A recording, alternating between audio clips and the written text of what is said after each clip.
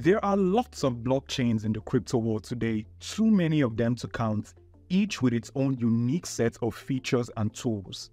Now, the problem is, none of these chains are able to communicate with each other by design, and that means data, resources, and even liquidity is siloed on each of these chains, greatly limiting the full potential of the entire space. Now, this is where Wormhole steps in. Wormhole is a generic cross-chain message passing protocol that enables communication between all major blockchains. It also allows developers to build multi-chain decentralized applications on top of it. With Wormhole, data, information, and even tokens that were previously isolated can now flow freely between tens of interconnected blockchains, and both developers and users alike can leverage the unique features of multiple ecosystems seamlessly. Wormhole itself is not a token, nor is it a token bridge, and it most certainly is not a blockchain.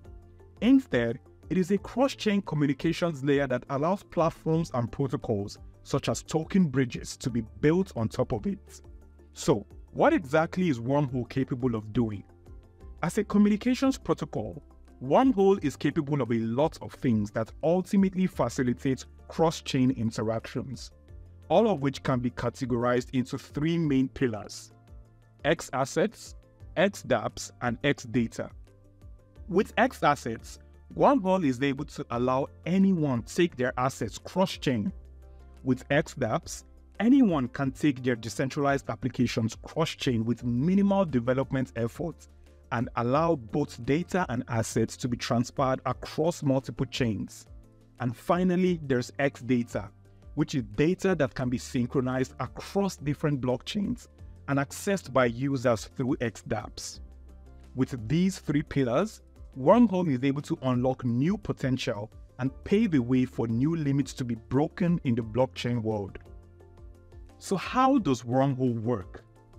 Every blockchain that Wormhole connects to has a wormhole core contract deployed on them. Whenever any of these chains or any dApps on them try to make a transfer to another chain, a call is made to this core contract, which publishes a message.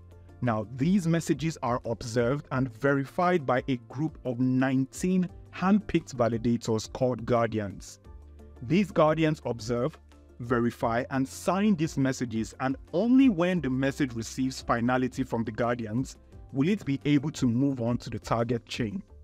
Once the message has received finality, it is wrapped into a structure called VAA or Verified Action Approval, which carries the original message and a signature proof from the Guardians.